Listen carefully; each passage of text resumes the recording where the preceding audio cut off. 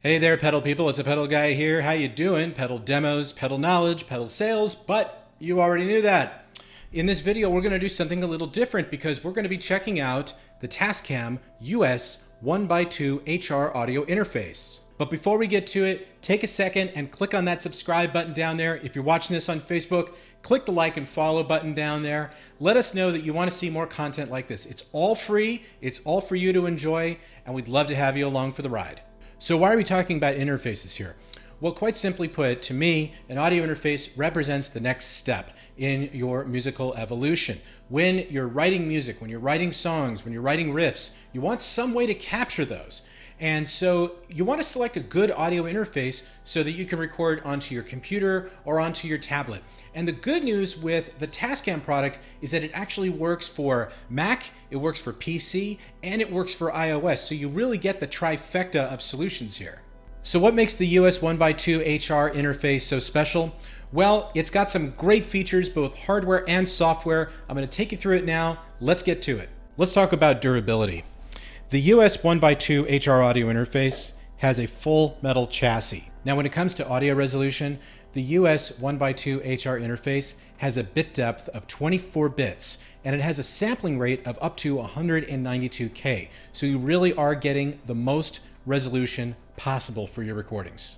One of the standout hardware features on this interface is the microphone preamp here on the far left. And this incorporates Tascam's exclusive technology, which is called A uh, Ultra HDDA, which stands for High Definition Discrete Architecture. So it offers a really nice, crisp, clear sound with super low noise levels. Let's go ahead and do a quick tour of the front of the interface. All the way here to the far left is the microphone preamp, which I talked about before. It has its own individual gain knob, and it also has a signal and peak indicator, which is kind of unique because not all interfaces have both signal and peak built in. To the right of that, we have a line input, which can be used for either a line level or an instrument level. So you can plug your guitar straight into here if you want to. And you, of course, you also have a gain knob here as well. Now, further on to the right, we have the master line out volume, and we have the headphone volume. And then we also have a quarter inch headphone jack. Now let's tour the back of the interface, starting at the far right. Far right, we have the phantom power switch, so you can use either a condenser or dynamic mic with the uh, front of the interface. You have your line outputs here, which are both RCA jacks. You have line inputs, which are also RCA jacks. And you can select whether you want to use the front or the back of the interface by using the input selectors. So you can either use the front or you can use the rear. Now, moving to further to the left here, we have the direct monitor switch. Now, direct monitor pertains to uh, what's called latency, which is the delay between playing a note and hearing a note. Let's talk about that for a quick second. So let's do a quick sidebar about latency.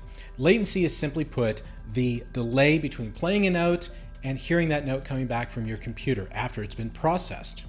Ideally, you want that latency to be as minimal as possible, but there are circumstances that prevent that from happening, like the speed of your computer or other circumstances that you may not be aware of. So having an audio interface with direct monitoring bypasses that whole problem because basically what happens is when you incorporate direct monitoring, when you play that note, it basically short stops the signal and it plays it back in real time while it's playing back anything that's been previously recorded from your DAW so that you can really hear it with the lowest possible delay. So if you use an interface with direct monitoring, you're going to have a lot more success. Let's wrap up the back of the interface here real quick.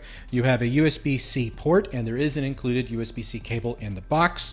You also have a DC input so that you can use this with your iOS device. Now, if you intend to use this interface with an iOS device, you're going to want to make sure that you get yourself a camera connection kit, which you can purchase at any Apple store. And the other thing you're going to need is some sort of power supply. So you can use a battery pack, uh, you can use a wall socket, you just have to make sure that you've got one of those micro USB cables. And finally, one of the feature sets that really sets this interface apart from the rest are the software offerings.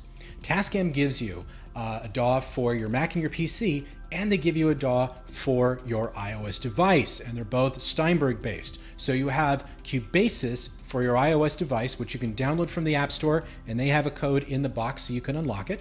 And they have Cubase LE for your Mac or your PC.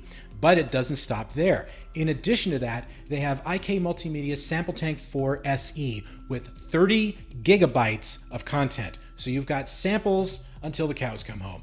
And finally, to cap it all off, they give you a three month subscription to Antares AutoTune Unlimited. So you can auto tune your vocals or whatever else you want to pop in there. And that really does create an amazing uh, and powerful software solution to get you started fast, all for 119 bucks. I mean, that's a pretty cool value.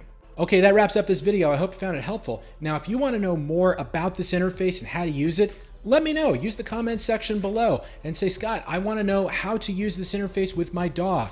How do I make this work for me as a guitar player? That's exactly what this is all about. So I hope you're getting the point of what I'm trying to drive home at here is that this is the next step in your musical evolution and I'm going to help you every step of the way. But you got to let me know what you'd like to see. So do use that comment section. And of course, if you haven't subscribed to my channel yet, now would be a really good time to do it. Or if you want to, you can also follow me on Facebook or Instagram. But in any case, I hope you found this video helpful and we'll see you soon. Well, thanks for stopping by. I hope you enjoyed this video. If you have any further questions, be sure to visit us at thepedalguy.com. But in the meantime, follow us on Facebook, follow us on Instagram, and also be sure to subscribe to our YouTube channel for weekly videos and tutorials. Thanks for stopping by here at thepedalguy.com, where I love pedals and so do you.